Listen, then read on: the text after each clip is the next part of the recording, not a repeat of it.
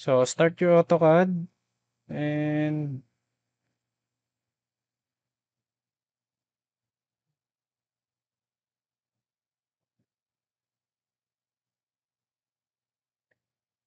Yan. Okay, so please open yung uh, block object activity na file.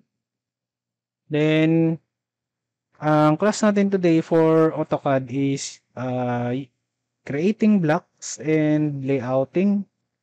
So, for creating blocks, kailangan natin meron tayong objects bago tayo mag-start ng drawing.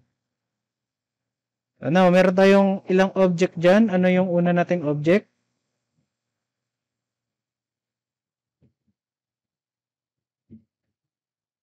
Ano yung una nating object? Number one. Water closet po.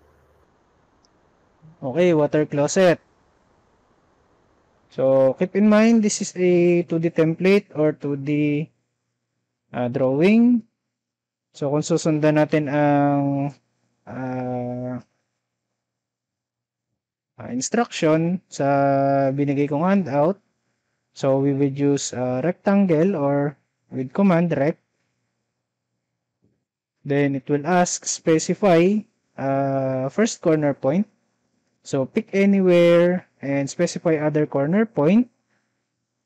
So sabi niya at 500, 200. Yan. So mapapansin nyo, ang first pick point ko is dito sa area na to. Yan. Then, ang 500 na tinukoy niya sa at 500, 200 is itong haba na ito. Then, yung 200 is yung pataas. So, what happens kung dito rin tayo sa same area, pero nag-dimension tayo ng at 500, negative 200. So, pag nag-negative tayo, sino makakahula? Ano mangyayari pagka nag-negative 200 ako? Saan siya mapupunta? Ilalim po. Yes. Okay, pupunta siya sa ilalim. Baba. Okay, so ayan. At 500, comma, to, uh, negative 200. Yun. So, sa baba siya, pupunta kapag nag-negative. Uh, same kapag ka nag-negative 500 kayo, Uh, dito naman siya sa area na to, mapupunta sa kabila. So, let's delete this one. So, this is another way ng pagdodrawing. Kapag ayaw nyo ng at 500, 200, pwede nyong ilagay rectangle, dimension, 500, enter, 200, enter. So, the same yan. Okay. So, pwede rin yung ganito, rectangle, 500, uh, dimension, 500, 200. Then kung ayaw nyo nandiyan sa taas, pwede nyo ilagay sa baba, pwede nyo ilagay dito sa kaliwa, pwede nyo ilagay sa taas. Yan. Okay, so since na-drawing na natin ang rectangle, we have to draw an ellipse. So we have EL uh, for ellipse. EL, enter. Specify the midpoint ng ating rectangle. Then, sabi niya, is another endpoint or at 550. Oops, at 550. Then, angle 270. Or kung ano is yung less than sign dyan sa keyboards nyo, shift, uh, tapos yon Then, enter 270. Enter. Then, 200, which is yung width ng ating ellipse. So, ayan. So, ito yung 200 natin.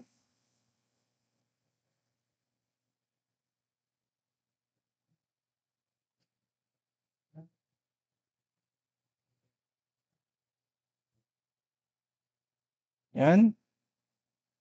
So, radius niya is 200. Then, yung length ng ating ellipse kanina is 550. So, anong other way pa para makapag-drawing kayo ng ellipse? You have ellipse. Then, paint, pindutin nyo dito. Pwede nyo hilahin na lang to. Basta kayo ay naka-ortho. Lalahanin nyo, dapat naka-ortho kayo. 550. Enter. Then, select the width. 200. And, yan. So, hindi nyo na necessary kailangan pindutin yung at at 550 tapos may mag-angle pa kayo. Yon so bakit siya may angle 270 so halimbawa ay ah, naka-angle yung banyo nyo na nakaganito or naka 40 degrees. So you would point uh, at 550 then angle is 40 press enter. Then width is 200 so yan ito yung 40 degrees. Uh, positive pala siya papunta dito. Yan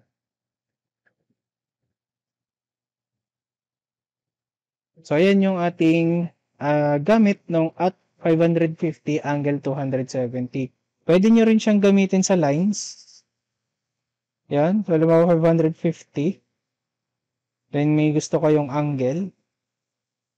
Ah, sorry. So 550 uh, at 550 then angle is 45 degrees.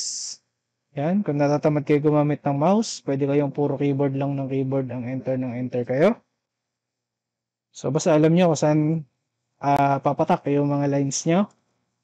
So pwede pwede 'yan. So let's move on. So we have this step 3, move. So sabi dito sa uh, sa handout is we enter command M, M muna M, enter or uh, spacebar. So select the object, press enter, then pick point is dito. So i-move natin yan paangat. Pero ang sabi sa libro ay nandito pa rin. So at 50, 50 angle 90. So, 90 meaning yung movement niya is papunta ng 90 degrees dito sa taas. And 50 is the distance ng movement niya. Okay? So, we press enter, umangat siya na ganyan. So, alternatively, pwede nyong i-move yung ating object. Uh, magkaroon kayo kahit saan nyo, kahit pa nga saan nyo ilagay dito to. So, kung makikita nyo, nag uh, move siya. So, pwedeng dito nyo i-move. Yan. So, move. Then, uh, siguraduhin nyo naka-ortho kayo para uh, 90 degrees uh, sigurado yung inyong movement. And select the distance. So, 50. Yan. Ang ano mangyayari pag hindi kayo naka-ortho? So, pag hindi kayo naka-ortho, notice, ortho off. Nag-move ako. Nag-move ako pataas.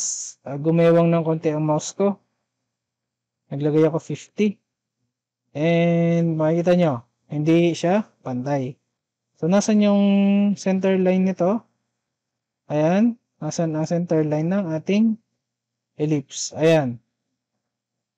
So, mga small mistakes uh, makes very you uh, small mistakes uh, produces very large results. So, ingat-ingat kayo kapag ka nag-move kayo ng item So, kailangan talaga may mga snappings kayo. So, katulad ng kanina, ito. Paano ko siya minove? Binalik ko dun sa middle point na to. So, kung hindi siya nasa middle, i-grab nyo yung quadrant. Or kung hindi naka-on yung quadrant nyo, on nyo yung quadrant nyo. Click nyo dito. And click nyo yung middle point nitong rectangle.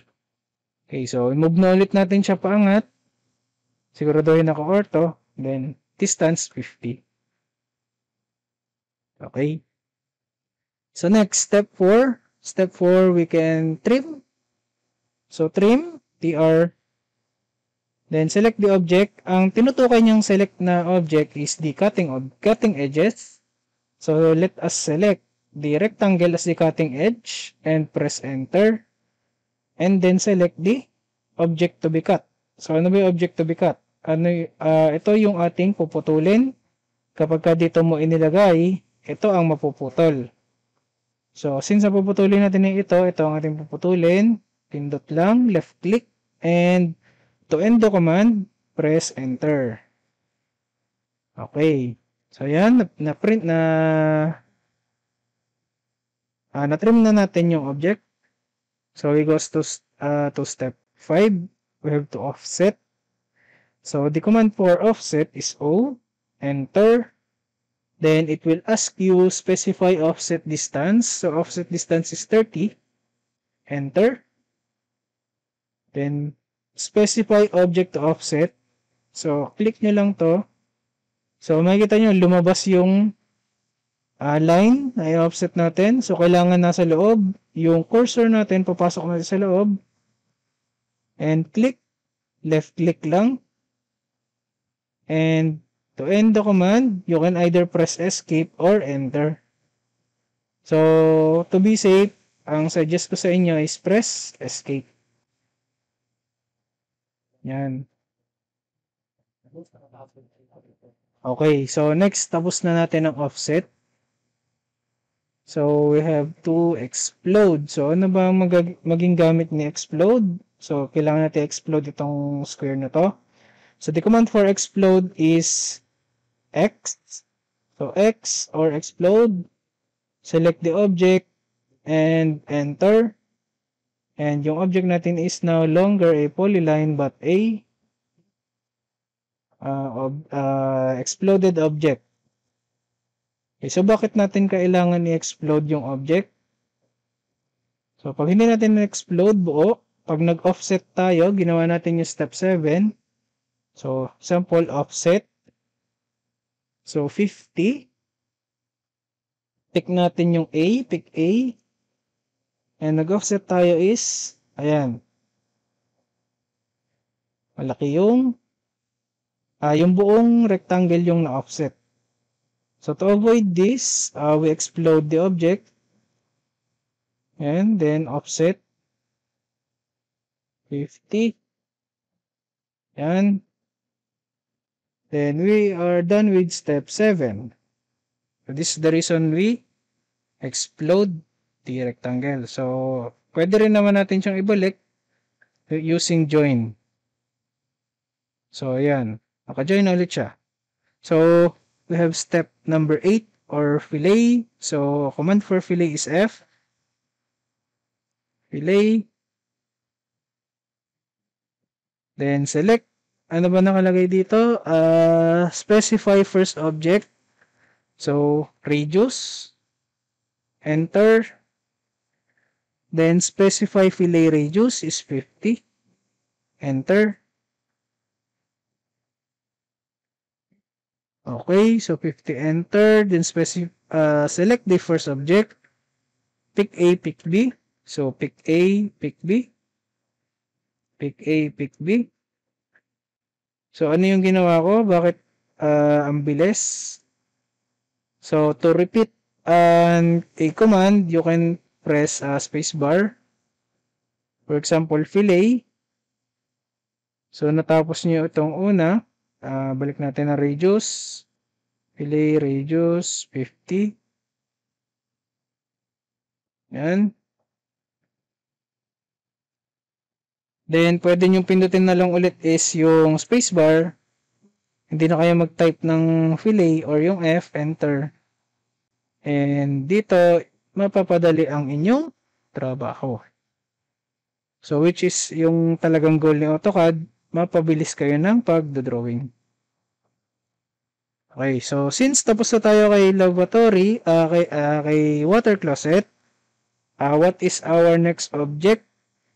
What is number 2?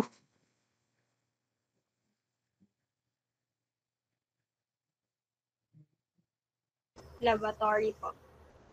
Okay, so number 2 is lavatory. So, ito medyo uh, madali-dali pa to. So, lavatory, so we can draw a rectangle. So, corner point A.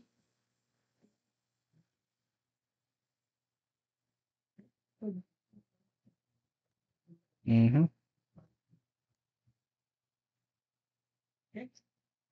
Okay. Uh, corner point A, then sabi niya is at 500, 400. So, ganyan dapat siya kalaki. And alternatively, pwede rin naman natin gawin na ganito, dimension 500 for uh, 400. Yan. So, parehas lang siya. Ang daming ways para mag-drawing ng rectangle ng kahit anong object. It's up to you kung saan kayo nadadalian. Uh, yun yung gawin nyo. Yun yung piliin nyo kasi uh, yung uh, yung masasanay, yung makakasanayan nyo is madadala nyo yan hanggang uh, sa industry na o magtrabaho na kayo. Okay? So, anyways, kung gawin nyo tong may at or gawin nyo yung naka-dimension, ang lalabas naman na object sa kanya is parehas lang. Wala namang pinakaiba sa kanila. So, going back, so since we have done step 1, we are proceeding to step 2. So, we will be offsetting, offset, command, then specify the offset distance 30, enter, pick inside, and end the command. Step 3, Step 3, medyo ano to? Medyo complicated kapag hindi mo alam property ng AutoCAD. So, select the rectangle, select the mid-grip, and drag your crosshair growing down.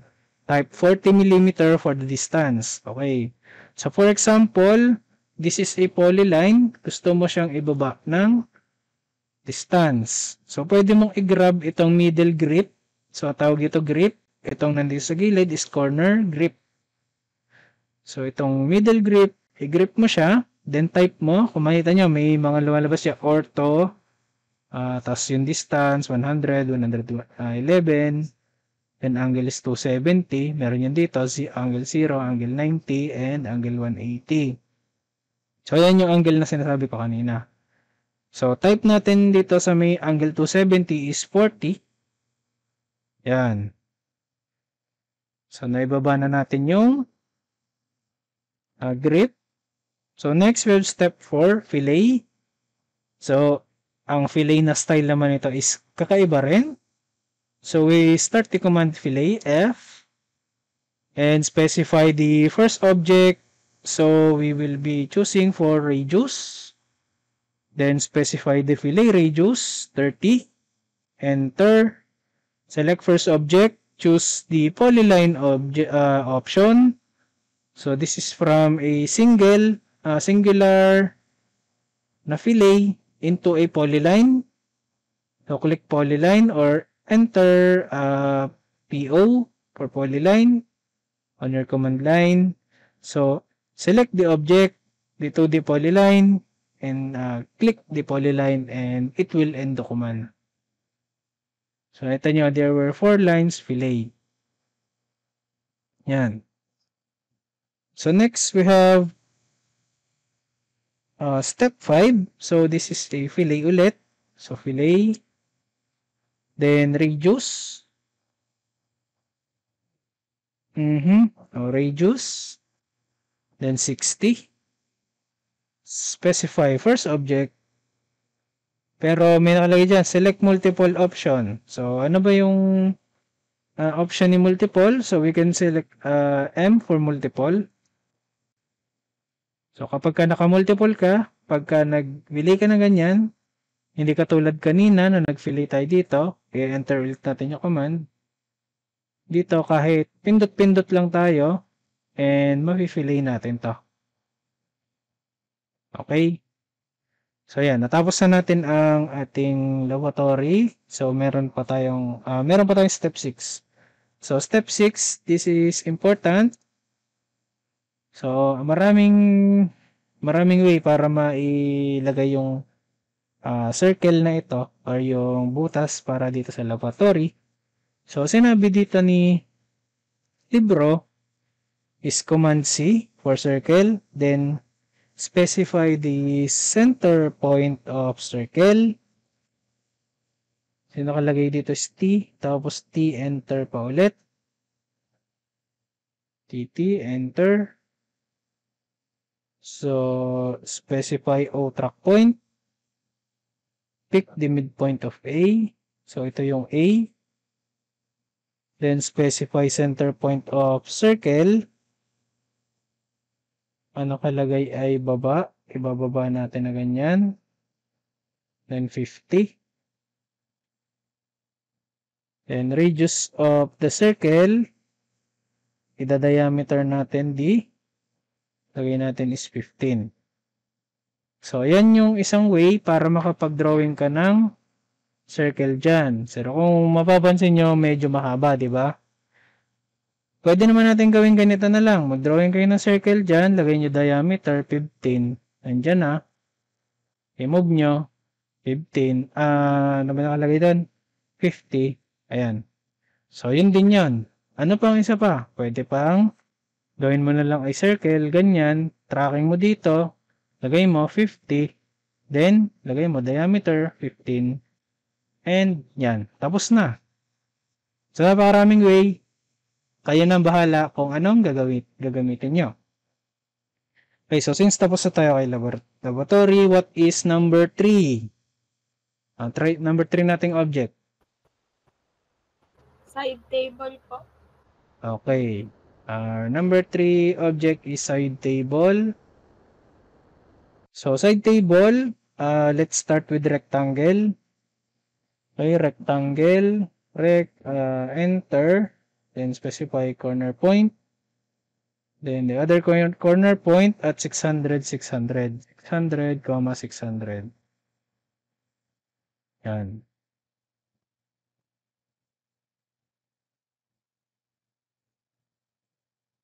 So, ito yung ating yung side table. O, simple lang, offset lang natin yan. Then ano nakalagay na offset distance 100. Then yan, tapos na tayo sa ating side table. Next, uh, single sofa. Number 4. Ayan, so we have uh, this is uh, medyo complicated siya kapag uh, hindi mo alam yung tracking tool. So, let's start with polyline. Then click dito. Dito ka muna magsimula. Point A. Then, punta ka ng kanan. So, kanan, ang distance niya is 895. Then, pababa, 650. Punta ka ng kaliwa, 120. Up, 525. Left, is 655. Then, down ulit, 525. then 120, then close. Okay, so ayan, natapos na natin yung rectangle ng uh, single sofa. So, maggagawa tayo ng isang rectangle sa loob. Pindot natin dito at 655, negative 500. Okay, so ganyan yung pag-drawing ng sofa ayon kay uh, book. So, sa akin naman ito, magdodrawing ako ng rectangle. So, magda-dimension ako is 895 by, yung laki niya is 655. Hindi ako nagkakamali. Yan. Then, i-offset ko to. Offset. Offset ay 120. Tama ba? 120. So, yan, 120. Tapos, ibababa ko ito ng 5. Ito, ilalabas ko. Yan. Then, trim. Trim, yan. Tapos na. Then, join. Okay. So, ito yung uh, pwede nyong gawin para alternative kung uh, ayaw nyo nung mahaba na at saka hindi ano, specific yung uh, tawag dito, uh, measurement dun sa mga object pwede nyong pag-trim-trimin na lang yung mga objects na nandito. Okay, so meron pa pala dito, ah, uh, kung lima mapapansin nyo ay ito ay nakabuo na, ito ay hindi. So may way para ma-determine nyo kung yung object nyo is a closed object or a uh, open object. So to determine, you can use the command BO or boundary. So boundary, you can pick point, select this. Pag yan ay nag-blue, ibig sabihin closed point yung napindot nyo. And when you press enter, meron kang buong polyline ng inyong object. So, tawagin natin ito, pwede itong molde ng ating object. Then yung nandito is ating uh, yung nirelease sa molde. Okay. So, saan ba ba siya ginagamit? Uh, ginagamit siya kapag ka naghahat. Itong command na hat. Yan. So, pag nag-pick ka ng internal boundary, kailangan ay naka-close yan. So, almost so, uh, naka-solid line lang. Gusto mo kulayan yan ng dilaw. So, yan. Kailangan ay close object. So, ano mangyayari kapag ka hindi siya close object? Ilalagyan natin ng opening dito. Mag-boundary tayo. And yan. So, magsasabay, magsasabi siya na closed boundary cannot be determined. Okay. So, another way, meron pa tayong another way is through properties. Properties, ito. So, properties na yan, uh, titingnan nyo dyan. Pag sinelect nyo to, makikita nyo dito sa baba. Uh, miscellaneous, meron dyan nakalagay is closed, yes. Samantalang pag pinindot natin tong ating line na to, na dalawa, uh, closed is no. So, paano siya i-close? Join nyo lang itong dalawa, join. So, magiging yes na siya. Ayun.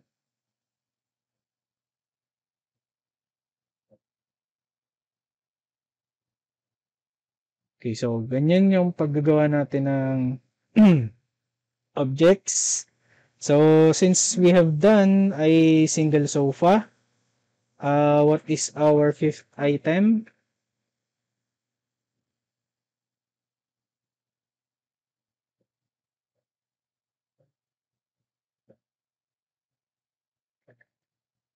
Ano ang ating fifth item? Door po. Door po. Door. Okay. So, we have door. So door, same lang din ng ibang mga object natin since may rectangular shape siya.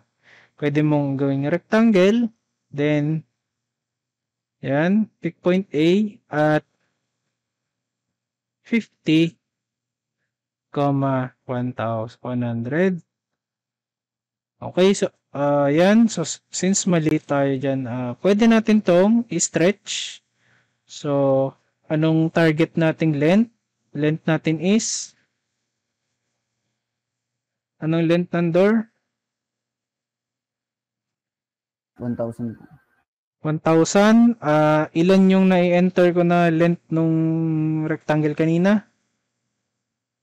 100 po. 100. So, ngayon, nang i-enter natin sa stretch na command is 900 para maging 1,000. Yan. So, checking. Yan. So, yung door natin tumama na yung size. So, kung naman nagkamali kayo, naku nakulangan kayo ng 0. Pabalik natin. Yan, 100 lang yung nalagay nyo.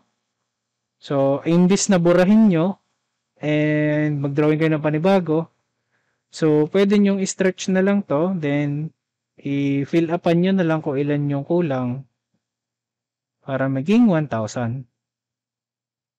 Okay, so since tapos na tayo ng door, uh, let's go with step 2. Step 2 is arc. So, ang arc na tinutukoy dito is makikita nyo dito. So, it is a center start end. Center start end. So, center. Asa ng center nito? Ito. And start point niya is at 1,000, angle 0. Uh, alternatively, pwedeng ang gawin nyo is center start end. Pwede nyo ang gawin is i-type nyo na lang kung gaano kahaba to. 1,000. Then, click nyo yung endpoint which is yung point P. Then, meron na kayong uh, swinging door. Okay, this is our item number 5. So, we go to item number 6. Ano item number 6 natin? Three. Okay, 3. So, paano natin i-drawing ang 3? Magsisimula tayo sa isang simpleng line. So, simpleng line. Yan. Drawing mo lang 500. Enter. And, meron ka ng 3. Hindi. So, A sa step 2 is 100. Then, naka 90. Then, arc. Type nyo lang yung arc. So, start, second, then the end. Meron na kayo yan. Step 3 to. Step 4. Yan. Dito papasok yung at na angle nyo. Pwede nyo ang gawin is 200, uh, at 200 angle 45 para sure. Yan. Alternatively ulit, pwede nyo gawin is ganito. Kung mapapansin nyo, naka-ortho kayo. Ortho. Pindutin nyo F10 para polar. Or ito. Pero i-enter nyo kung anong angle. So, sabi ko, gusto ko naka 4590 ako. So, mag-snap siya sa 45. So, nag snap siya sa 0. So, every 45, nag snap siya. So, yan. Ay, sorry. Uh, lagay natin yung sukat, 200. Enter. Yan. Okay, so tapos tayo sa step 4. So step 5, gawin natin is copy. Copy. Ang base point natin is nagmula dito. Mapapansin nyo, yan, nakopy na siya. Pag nag-click ako, yan, ganyan. So, imbis na ganyan ang gawin natin, pwede mo siya i-copy through array. So, command for array is A, enter, specify number of items, 25. So, pagka kinlik mo to, ang madami is nasa labas. So, this is spacing, yung sinasabi dito na uh, next point. Pero ang gawin natin is fit. So, kailangan pag-fitting natin yung 25 na diagonals dito sa isang object na ito. So, click nyo lang yung endpoint. Then, next we have trim. Titrim na natin to. Yan. Then, delete yung mga hindi natin kailangan. And then, meron na tayong uh, leaves. So, in leaves, MI or mirror, mirror nyo lang sa axis na to. Pag minirror nyo dito, sa axis na to, dito yan mag-mirror. Pag dito, pwede rin naman dito. Pwede rin dito. Okay, any resource object, click no, or enter. Then, meron na kayong complete na leaf. So, isang palapa pa lang yan ng puno. Next, paano natin siya paiikutin? We can use array. Proper array. So, tatanungin niya kayo, is it rectangular, uh, path, or polar? So, lagay nyo polar. Then, center point of array. Saan na center niya? Siyempre, dito. And yan lalabas na yung inyong uh, puno or na umikot na siya. So, kung gusto nyo madaming madami, pwede nyo lagay 8 8 then 9 yan. So sundin lang natin si Lebron. Naka 6 so kung gusto nyo fill. Ano ba tong fill na to? Ang fill na to 360 kung lagay nyo 180 Ah, 180. Ayan, kalahati lang. Pero balik natin sa 360. Yan. Then close array. You can press enter. Enter or close array dito kanina. So tapos na tayo sa 3. O, number 7 na tayo. Okay, what is number 7?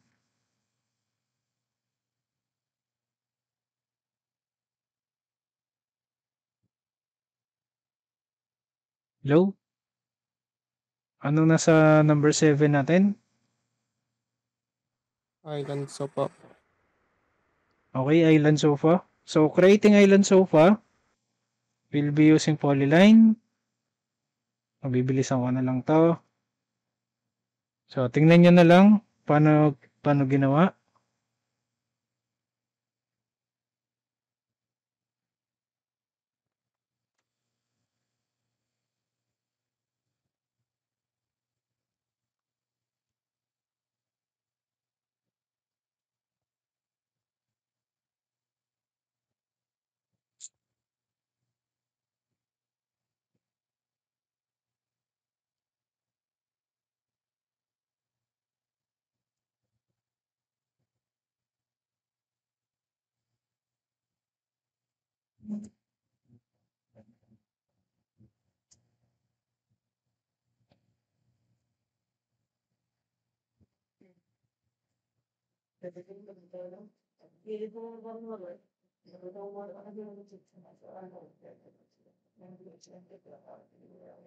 Three forty-five.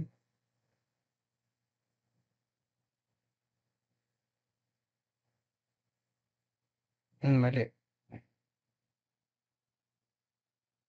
Okay. So, ito yung outline ng ating island sofa. So, para mabilis yung rectangle natin, pwede natin gawin ganito.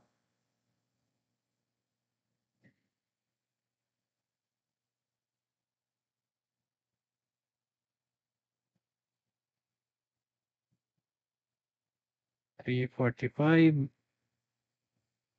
Yan. Then, select dito. So, natapos na yung ating i sofa or yung island sofa. So, check the last page. So, we have blocking or creating a template and grouping entities. So, the command for block is B. And we have uh, right block or W. So, command uh, to write a drawing file from selected objects on screen or from a block in a current uh, files block reference table. Uh, drawing files can be retrieved in any current DWG file. So, kaya anong advantage ni block uh, compare sa ating regular na drawings? So, example, uh, itong ating toilet bowl is a regular drawing. So, let us copy.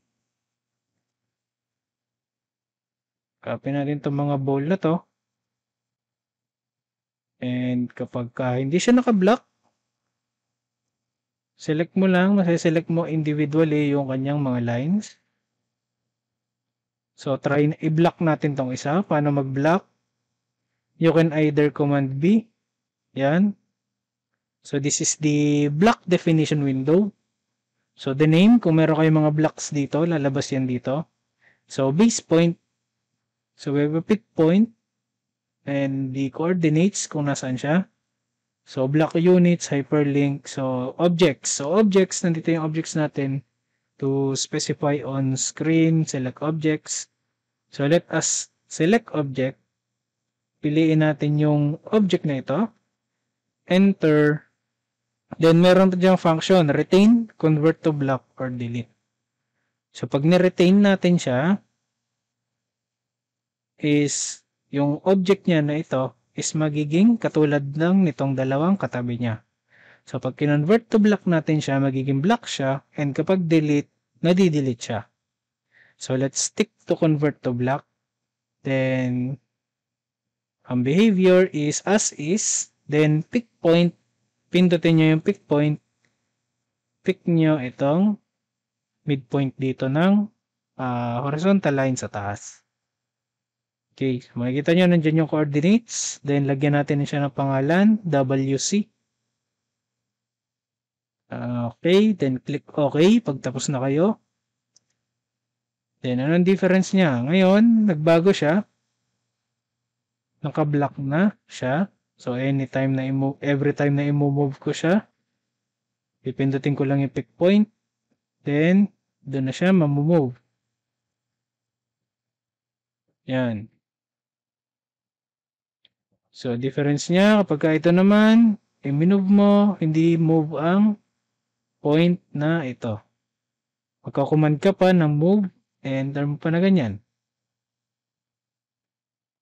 Okay, so another na advantage ng naka-block ang inyong uh, uh, object na ganito is kapag ka sobrang dami niyong object. Halimbawa sa barko. Sa barko, ang daming object na pare-parehas. Ba, mga fire extinguisher. Uh, magbigay pa kayo. Uh, magbigay kayo ng mga ano, pare-parehas sa barko. Ano bang mga meron doon na pare-parehas ang itsura?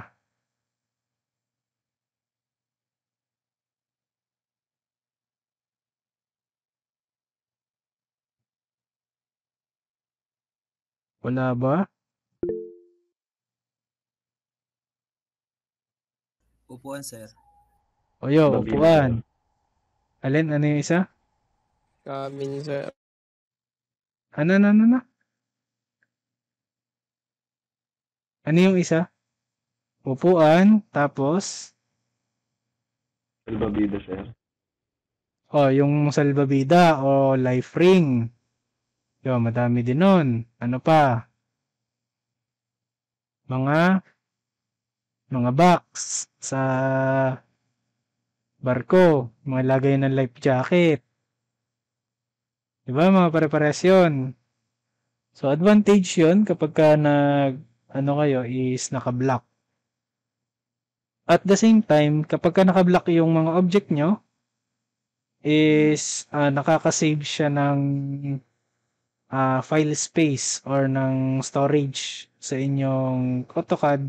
Ah, gagaan yung inyong drawing. Hindi siya masyadong mabigat kasi less yung binabasa niya na lines or yung drawings or yung specific objects. Okay, yes, uh, Jobert. Sir, tanong ko lang po, pag uh, yung pong all selected na items po is binilak nyo, pwede na nyo na pong ano yan, i-drag easily po kasi sabi nyo po, yung i-move nyo pa pag hindi siya ibablock. Bale po, mas less hassle po pa pag lahat po i-dinrag nyo. Tapos saka po binilak. Oo, mas less yun na hassle.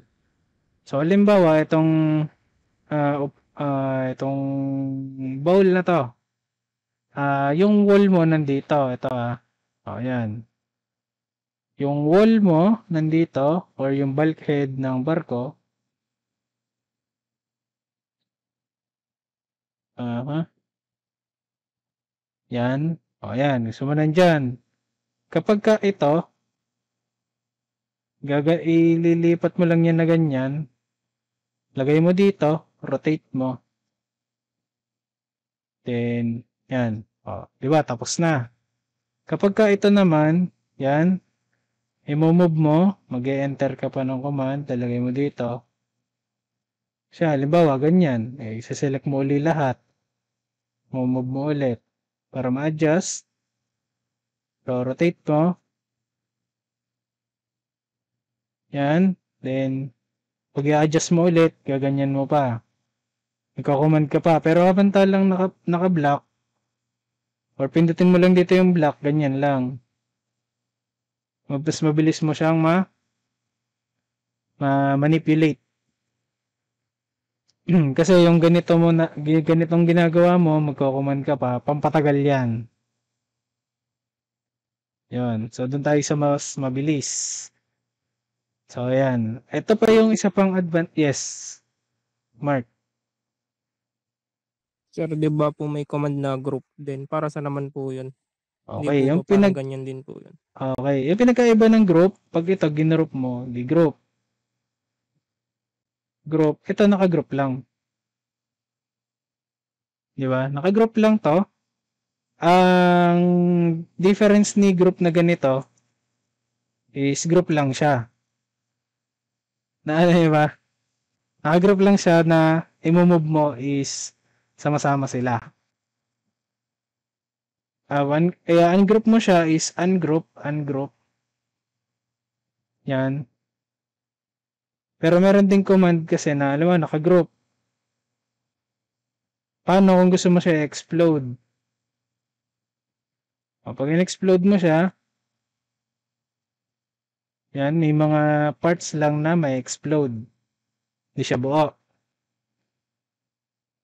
So, uh, ano natin, ungroup natin. Si, si Black kasi, pagka in-explode mo si Black, tulad nito, explode. In-explode mo siya, lahat ng components niya, balik dun sa katulad nito. Yun, hindi ka na malilito sa kagroup niya. Uh, at the same time, merong katulad nitong block editor. Alam mo, mag-insert ka, block, ganyan. Yan. Ganyan lang mag-insert nito. So, hindi katulad ni group. Sig alam mo, ito naka-group to, group. Group yan ha. O, nandito ka sa kabilang ibayon na to. Gusto mo, dito mo ilagay sa rectangle na to. Pag naka-block ka, insert mo, kunin mo si block, ilagay mo dyan. Ay kung naka-group yun, pupunta ka, i-zoom out ka, pupunta ka dito, select mo yung naka-group or pipindutin mo yung naka-group, kakopy mo, select mo dito, zoom out, punta ka dito. Eh paano kung napakaraming drawing niyan dito? Tapos ano na, uh, bumabagal yung computer mo pag nagzo-zoom out ka sa dami ng lines. E di ano, uh, dagdag oras yon. So much better uh, gamit kayo ng ganito. Yon. So yun yung iba, kaibahan niya kay group. At the same time, itong i-discuss kong kasunod, ano, uh, kaya mas maganda si group. Saglit lang. Ililipat natin to. Yan. So, at the same time, mas maganda si group kasi meron tayong tinatawag na block editor. So, block editor is, ang command is bedit or bedit. Then, tatanungin niya anong block. So, gusto mo yung CR mo, uh, palalagyan mo na to ng cover, ayaw mo nang bukas siya. So, ano mo, sample is, i-delete natin to. Yan, delete mo. Ah, hindi. Lagyan pala natin ng ano, ng flash dun sa taas. Yan, lagyan natin yung flash. And by diameter kanina is uh, uh, gawin natin 25. So, lagyan natin ng flash. O, di ngayon, ang space na ginagawan pala natin for your information everyone is block editor space.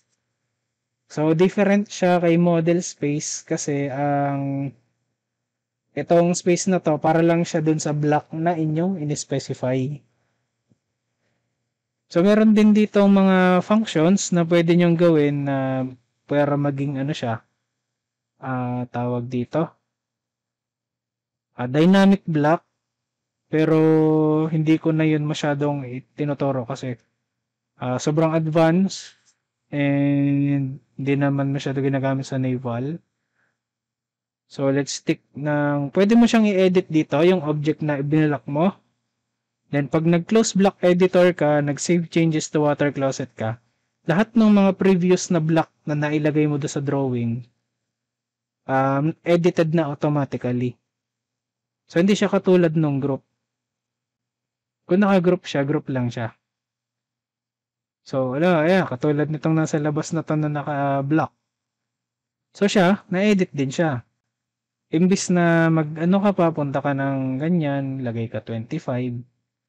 Ayan, lagay ka isa-isa na ganyan. Kukuman ka lang ng bedit. Pindutin mo to. Ilagay mo dito yung pinag-uulit-ulit mong gawin. Close mo, isave mo. Then, nandito na. Bawa, gusto mo, lagyan natin ng ano, ah box ng tissue. O, lagyan natin dito.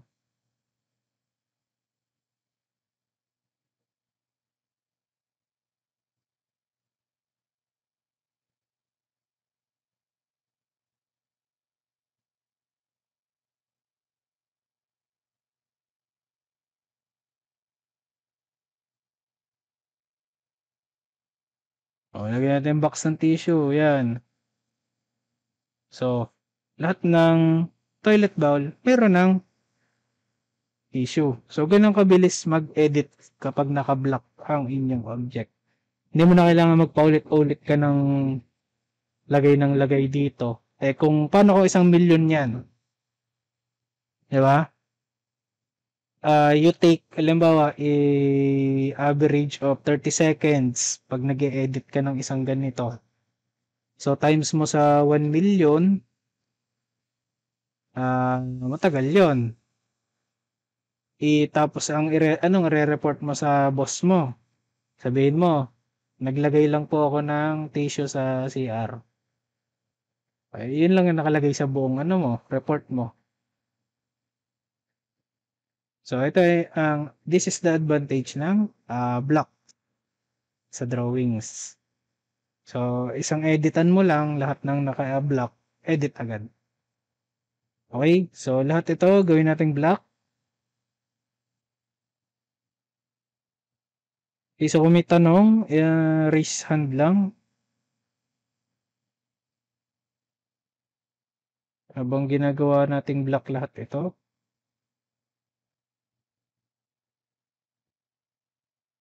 This is stable.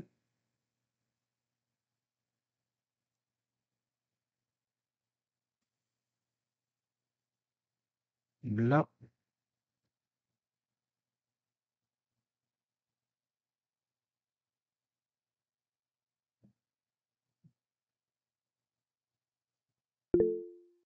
Yes, uh, Cedric. Sa tanong lang po, di, kunyari po, di na-block na po lahat. Then, kunyari po, na-delete po. Then, paano po nyo tatawagin yung ano, yung ano, kunyari po, gusto ko po ilabas yung ano, yung door, ganun po. Yung po ba ano, based dun sa nilagay yung pangalan? Okay, gusto mong tawagin ulit yung door, tama? Na ano na-delete mo? Opo, kunyari po na-delete. Opo. Ah, saglit lang. Uh, tapusin ko lang to. Black, uh, ay sofa.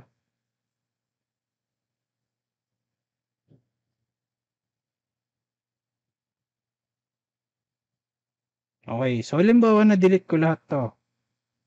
Paano mo siya tatawagin? Huwag niyo pansinin itong bilog na to ha, glitch to. Kasi may nag-glitch minsan. So, paano mo siya tatawagin? Ang question is, pwede mo naman pindutin dito lang sa insert. Nandito na yung nakakatalog.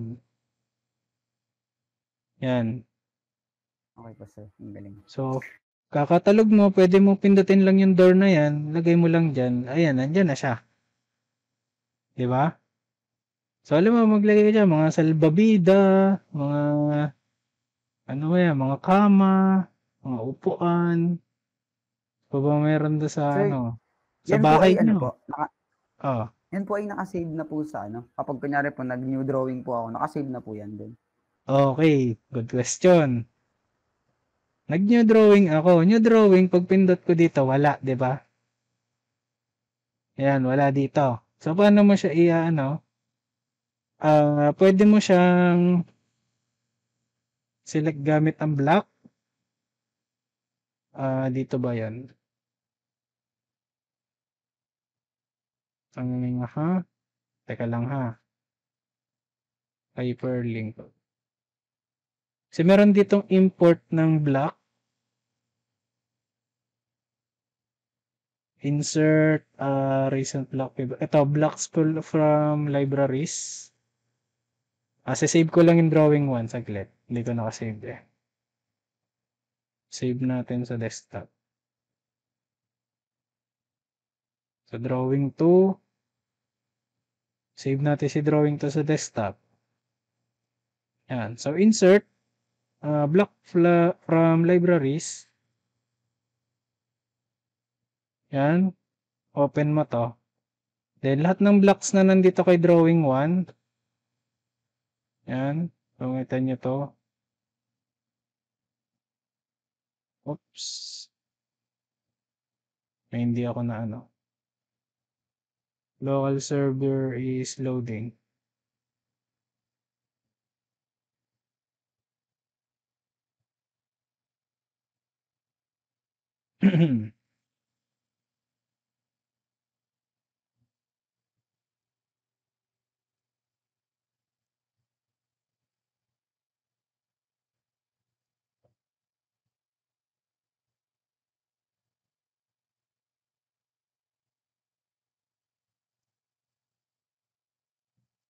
Ah, hindi mag-in.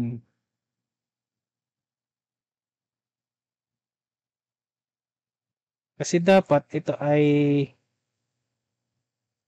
nag-i-insert ka ah, block editor. Hanapin ko lang.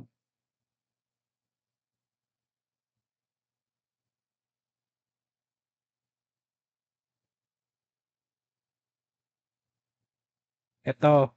Ito kapag ka magra-right block kayo, ganito. Ito yung pang universal kasi. Bawa right block. Ito yung pick point objects kapag ka file, file name and user path. Yung block nyo magsisave dito sa file na to. So pag i-retrieve nyo dito, sa next drawing, pwede mong i-blocks from, from libraries. Kukunin nyo yan sa dito, sa documents na to, new blocks. Yung nilagyan nyo kanina dito. Kung na-save. So, try natin.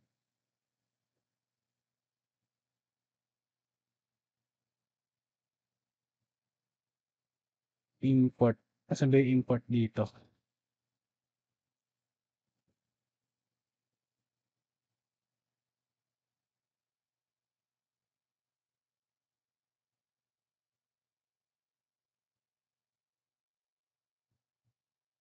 Mhm.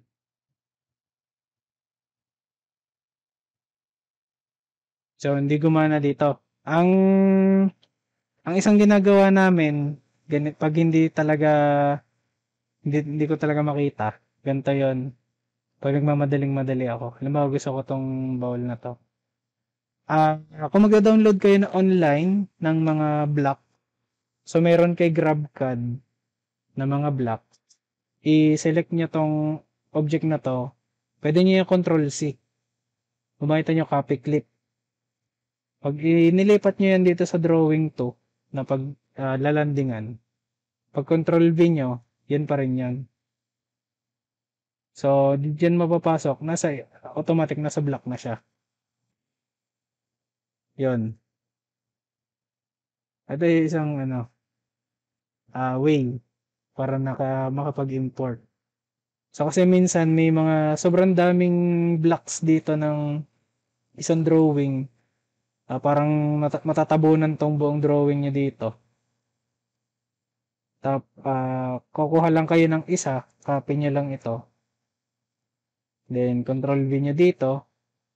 O, pag na na-insert nyo na yung block dito, nandito na yan. Uh, try ko maghanap. Hanap ako ng isa ngayon. Saglit lang.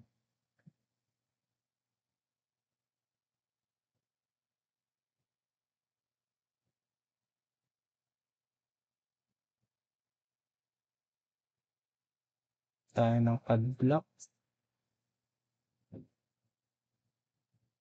So, pakita sa inyo yung screen kong isa.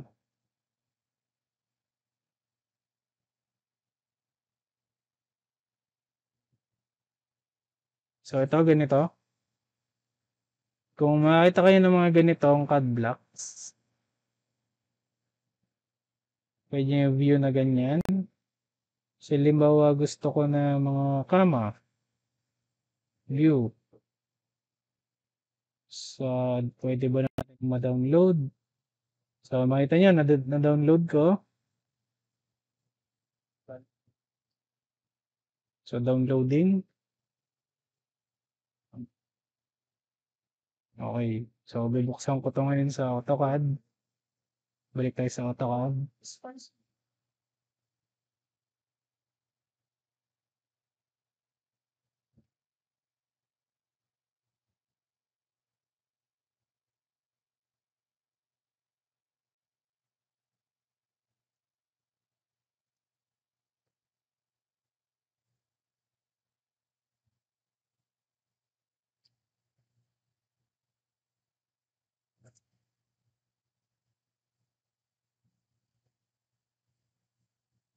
Okay. So, nakita nyo ba to?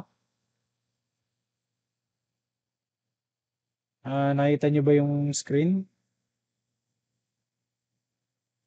Opo. Okay. So, kung naka, makakuha kayo online, tapos may mga nagustuhan kayo ditong kama, yan. So, lahat ito blocks na. Yan. Yung mga nakita nyo dito, mga lampshade yan. Ito, mga bilog na to. Yan, mga unan, mga carpet na. Kunin nyo na lang to. Control C, para kayo nagkakopy ng ano, ng assignment. Tapos lilipat nyo dun sa inyong assignment. Tapos ilagay nyo lang dyan. so definitely nandito yan. And ganito yung magiging pangalan niya. So paano nyo siya papalitan ng pangalan? Punta lang kayo ng Bedit. Or eto. Yan. So, pwede nyo siyang edit dito. Ayan, kung makita nyo na papalitan nyo yung mga lines na ganyan. Yan. Yan. O, yung telepono. Kung gusto nyo, kunin nyo lang yung telepono. Pwede rin yun. Pwede rin kayong gumawa ng block within dito sa Bedit ah, editor na to. Mga block. Ah, hindi pala pwede. o, so yan. So, pwede nyo manipulate pa ulit yan dito. So, save changes to this one. Ah, pagpapalitan nyo ng pangalan is black. Yan. And lagyan niya pangalan, lo, bed 1. Beautiful bed. Enter natin. So, ito ngayon is beautiful bed na. Yan, beautiful bed. So, pwede nyo rin siyang ah, nasan ba si beautiful bed? Tapos pick point. Palitan nyo yung pick point niya. Pwede nyo gawin pick point dito. Tapos okay nyo, ah, redefine block. Ah, hindi pwede. Ah, sa block editor to nagpapalit ng point. So anyway, ayan. So yung bed. Pag mga mag-import kayo. Okay. So okay na? Wala nang question sa block?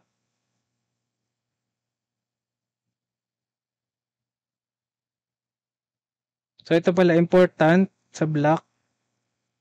Kapag ka naka-block yan, tapos gusto nyong palitan ng kulay dito, di nyo mapapalitan ng kulay. Ayan, palitan nyo ng kulay ng blue, hindi po, hindi mapapalitan ng kulay. Ang kulay niya is dito nyo mapapalitan sa block editor.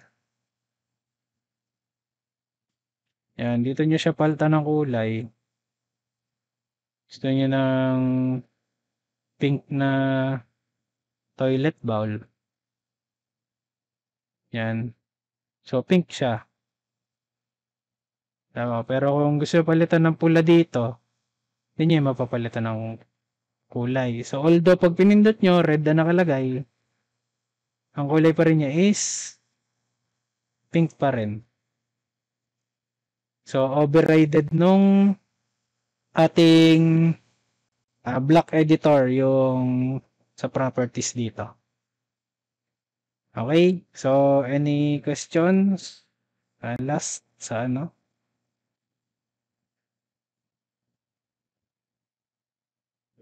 Bago tayo mag-proceed sa sunod na lesson,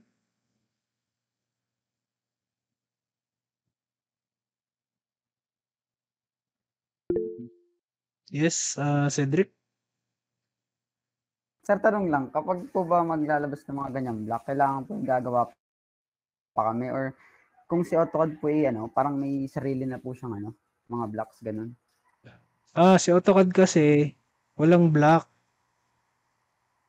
Walang ganyan. Wala siyang ganitong kanya. Pero may mga library dito, um, yan, tulad nito. Recent, ah, lamp, flow. Hahanapin mo lang kasi talaga dito sa AutoCAD mo. Kung nasaan siya. Ako kasi natuto ako, ah, kinukuha ko lang sa internet tong ganito. Yung mga technique. Okay, so wala na ba? Last call. Question? Wala na?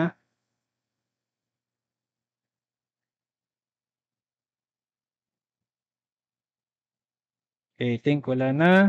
So, let's proceed to layout. Yan. So, mapansin nyo, dalawa yung ating mo- spaces for movement. Meron tayong model and merong ah, model space. Ito yon yung ginagalawan natin ngayon. Pinagdodrawingan natin.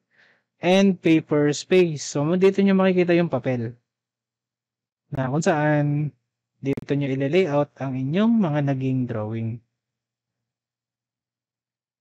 So, merong command ito na para mawala yung ah transpa transparency nitong ah, edges. So, haral, ah, hanapin ko pa ulit kung nasan yung command na yun.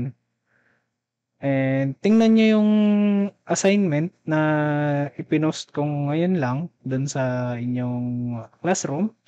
So, ang gagawin nyo is ipa-plot nyo yung inyong ah, naging unang drawing dito sa ating ah, paper space.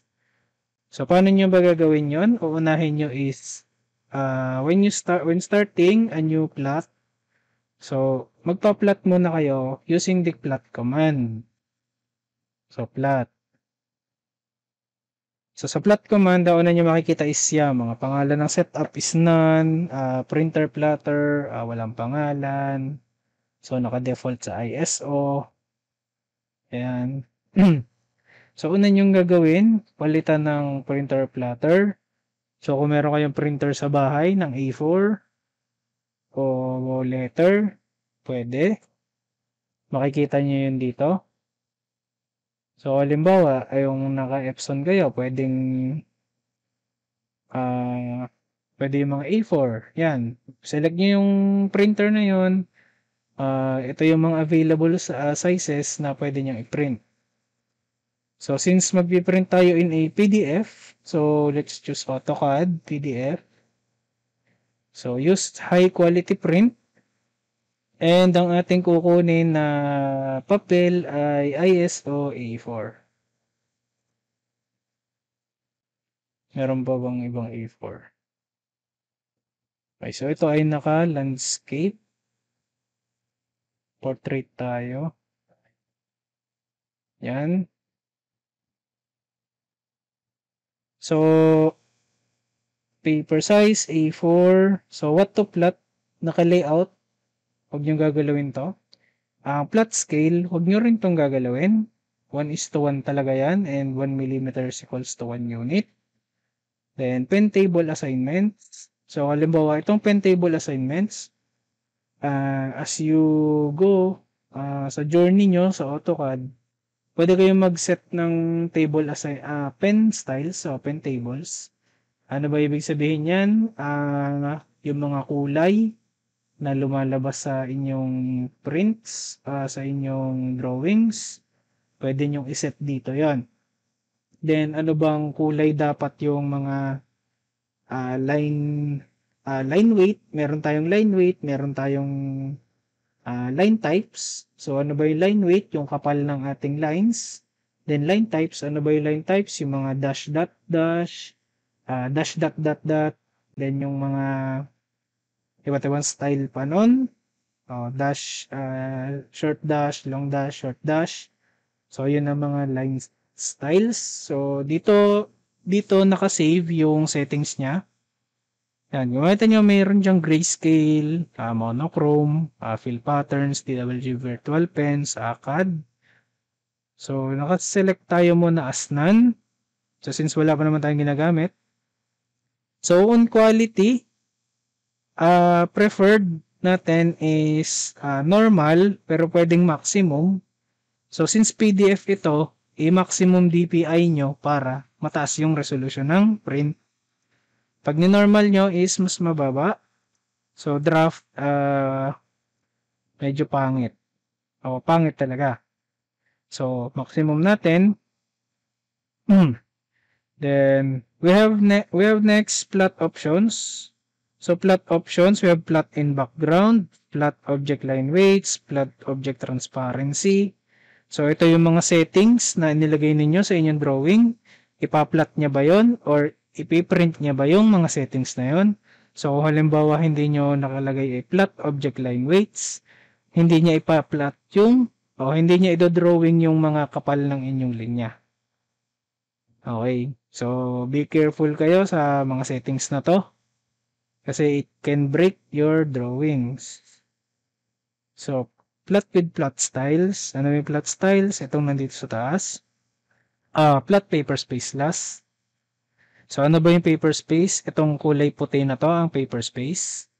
And yung itong nasa loob na to is the model space. So, hide paper space objects. Kung may na uh, dinrawing kayo dito sa paper space, i-hide nyo yun. Uh, plot stamp. Ito yung parang uh, water watermark. Then, save changes to layout. So, since nakapag-set na kayo ng settings, you can click apply to layout. Then, cancel muna. Huwag nyo munang i-okay. Yan. So, nakita nyo ngayon, uh, portrait ng A4. And dilipat muna natin ito. So next, anong size ng ating A4? Anong size ng A4? Dimensions ng A4? Anyone?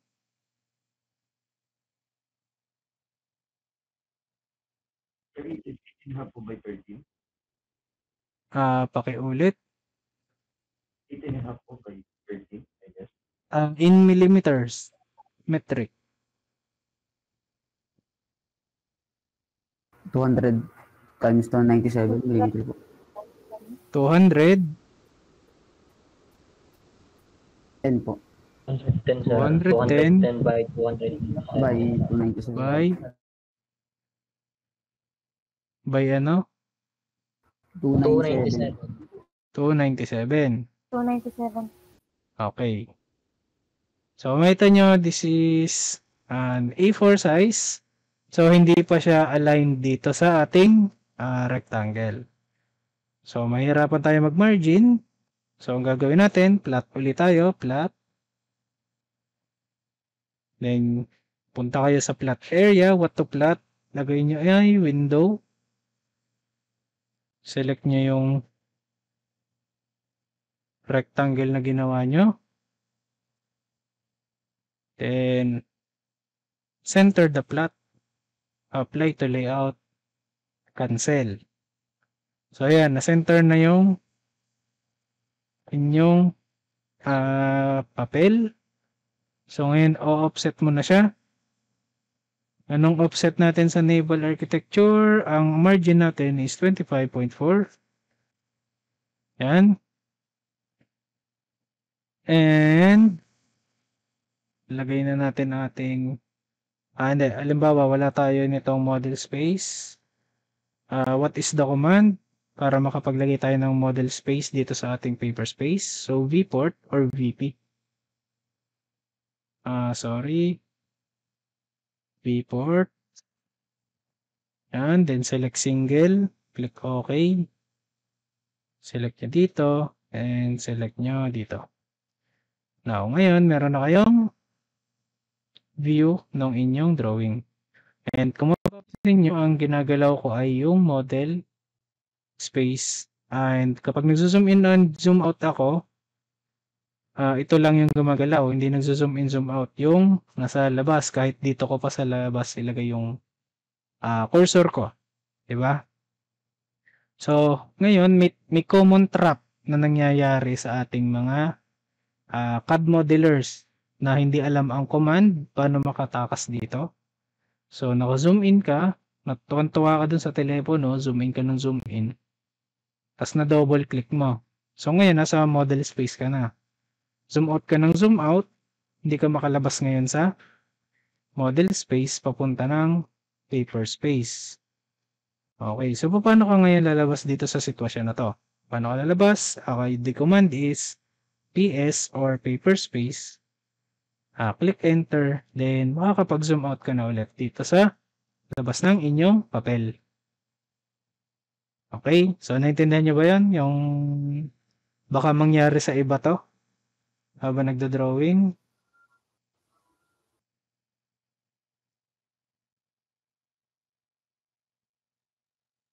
Ayan. Ah, then sunod, ah, dito ilalagay ang ating title block. So pakitingnan na lang doon sa sinend ko yung dimensions ng title block and kung ano mga dapat ilagay doon sa title block. So yung una nyong ginawa, ah, paki-disregard. Ito muna yung sinend ko na lang yung gamitin nyo. So yan yan talaga yung ano ng ating ah, title block natin sa naval. Yan yung gagamitin natin throughout the ah, semester kapag nagsesend kayo sa akin. Then kapag ka yung drawing nyo, ito ito pala ha, gagawin nyo sa drawing nyo. Di na drawing nyo na yung drawing nyo, eh, di ba may nakalagay sa baba scale.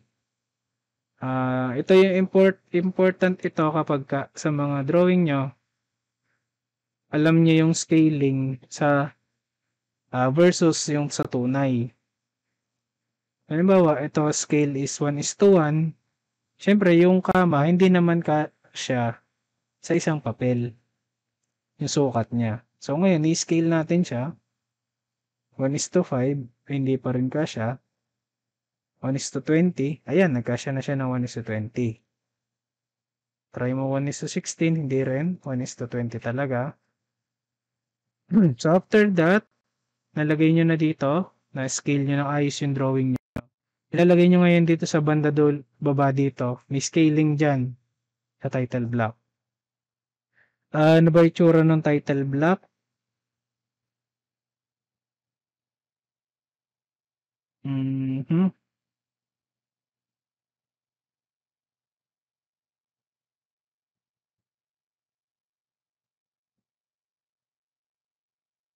Kunin ko lang ang reference. So, ang title block, dapat ito.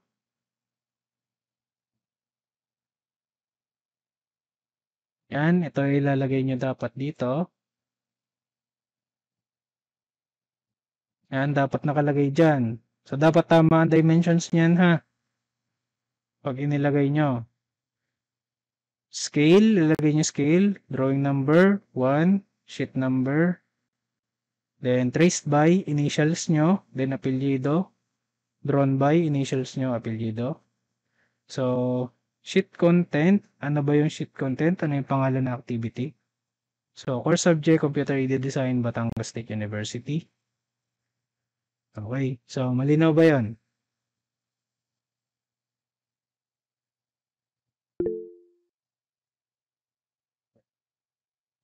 Yes, ah, Gabriel. Pareho lang po yung drawn by tapos traced by po. Pareho pong pangalan namin. Confirm lang po.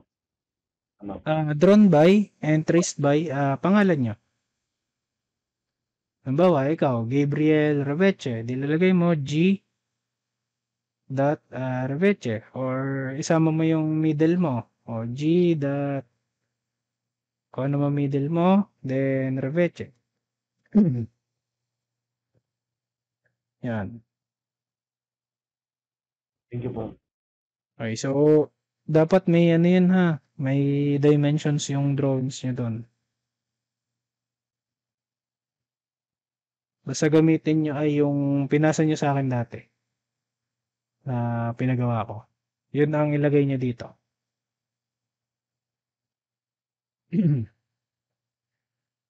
okay, questions regarding layouting. So, ito pala, para pala ma-plot nyo to, ipa-plot nyo. Bawa, tapos na kayo nito. Plot, para siya maging PDF. Nandito na, kompleto na. Then, click OK. Ay, ilagay nyo siya. Sample layout 1. Save.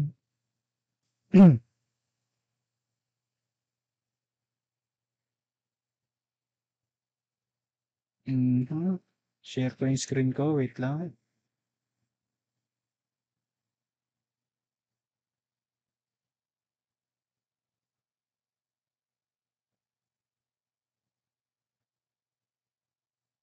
Okay, so dapat ang kalalabasan niya is ganito. Andyan, then yung title block nyo. Or sabi ko nga dun sa isang klase ko, yan, ganito.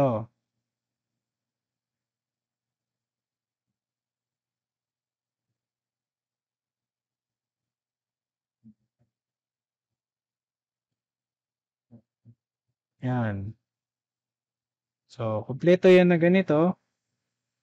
Scale, kung anong tunay na scale niyan. Yan. Okay. Ah, may question pa ulit kayo? Or malinaw na to? ah, assignment. Yes, ah, Gabriel. Sir, confirm ko lang po. Ah, yung, yung title block po, picture po siya. Ang title block is ida-drawing nyo. Kaya siya may dimensions. Hmm, drawing niya siya.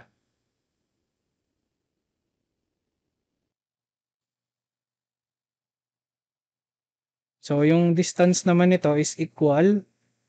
Equal, equal. Itong apat na to. 1, 2, 3, and 4. Then, itong tatluhan na to, equal lang din yan. Then, ito, equal lang din to. Yung distance nito dito, tsaka distance nito dito, parehas lang din. So, yung mga lines na na-drawing nyo dito, pwede nyo i-copy, papunta dito. Yun. So, yeah, binibigyan ko na kayo ng mga methods. So, gusto ko lang malaman kung kaya nyong i-drawing tong mga rectangle na to. Nang sa inyong paraan. Ayun. So, maraming paraan para ma-drawing to. Para malaman nyo kung tama ba yung inyong ginawa dito.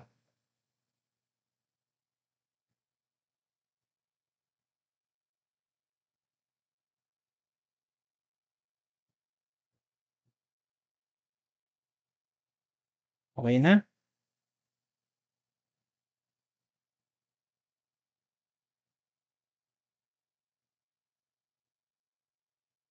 Hello?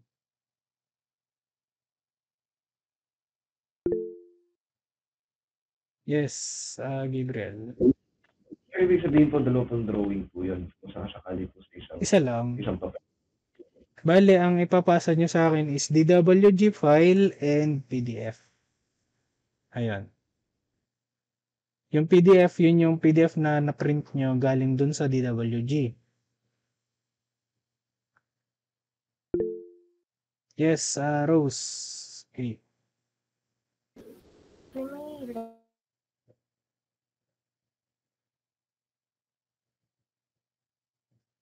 Naka-record po, ay hindi po naka-record yung ano po, yung sa palas na po na discussion. Oh, naka-record yung discussion natin ngayon. Huwag kayong mag-alala. Naka-record yun. Oh, wait lang.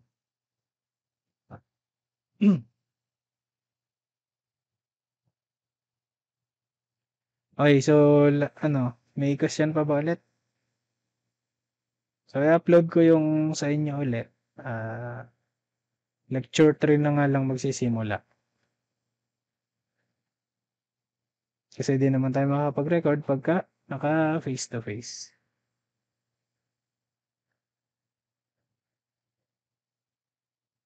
So, question sa assignment, question sa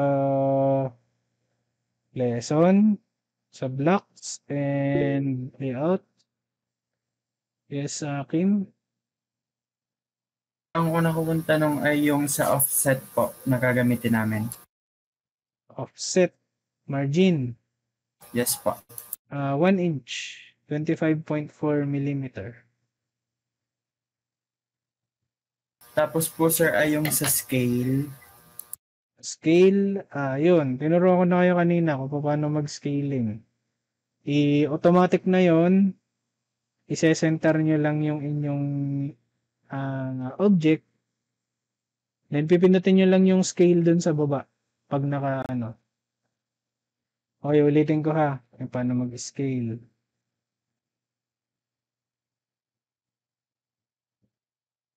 Okay, nakikita nyo ba yung screen?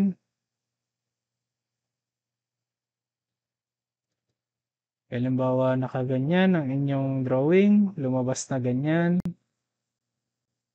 I-center nyo. Pindutin nyo tong nanditong scale of the selected viewport. Mamili kayo dito. 1 is to 8. Automatic na yan. 1 is to 16. O ah, 1 is to 50. Then 1 is to 20. So, kung na-determine mo na may tumatama dito, hindi ano, hindi sakto, igalaw mo na ng konti, then matamatahin mo na lang to na gumikna yung buong drawing mo. O naka-center. Then pag naka-center mo na yan, pindot ka dito ng dalawang beses sa labas para makagalaw ka na ulit dito. Or PS for paper space. Then, oh, then yan nakita mo na dito, 1 is to 20 yung scale mo. Yun yung scale na ilalagay mo dito. Ah, okay po sir. Doon po pala titingnan. Sige po. Oo. So, yun, yun yung tamang scaling na hindi, gina, hindi nasusunod kalimitan sa industry. Kasi ang ginagawa nila, dito sila nag scale sa model. Yun. Yung font size po sir, kami na rin po ang bahala doon. Ang font size ay tansyahin nyo na lang. Or kung pwede, kung, kung gusto nyo, kunin nyo tong picture na to dun sa sinend ko, tapos bakatan nyo. Bakatan nyo na lang to. Para makuha nyo yung font size na ginamit ko.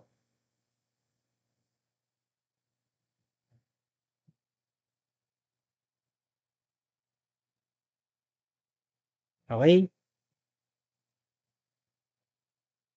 So, paano nyo babakatan? Ganito. Kunin yung ganyan. Kung magre-rectangle kayo, ganyan. May ba nakalagay dimension 150. Uh, negative 150.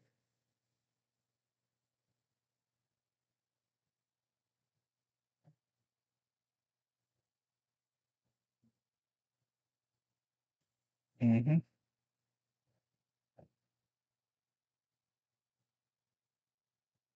Ngayon, tatansyahin mo, dimension, 150, 100. Mhm. Maliit pala yun. Eh, pero ito kasi ginawa ay dito. Dito mo siya gawin.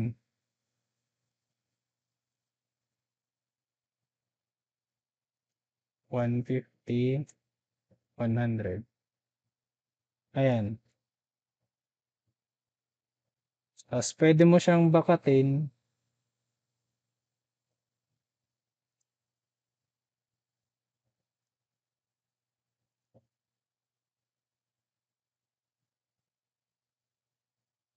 Pag i-scale mo naman ganito.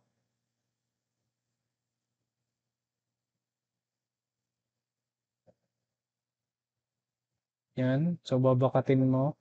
Text.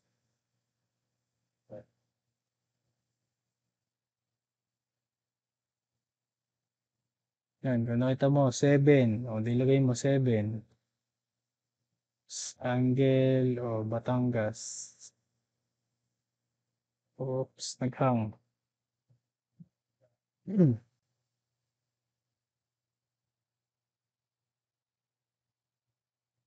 Okay, naghang yung AutoCAD ko.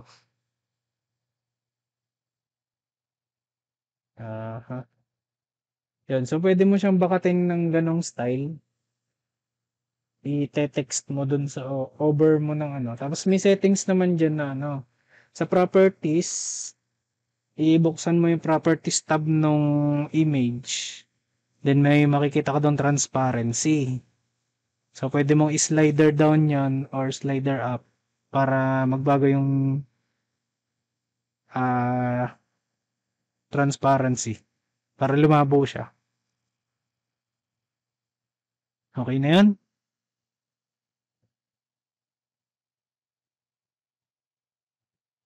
Yes po, sir. Thank you po. Okay. So, thank you. Ah, everybody, upload ko na lang to maya-maya ah kasi may ginagawa pa ako. And I'm ending the class na. O, ingat kayo dyan sa inyo mga bahay-bahay.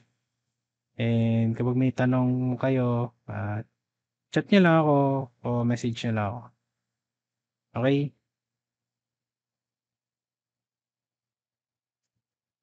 Thank you po, sir. Yes po, sir. Thank you po. Thank you po, sir. Sige po, sir. Okay, thank you. Thank you po, sir. Thank you po, sir.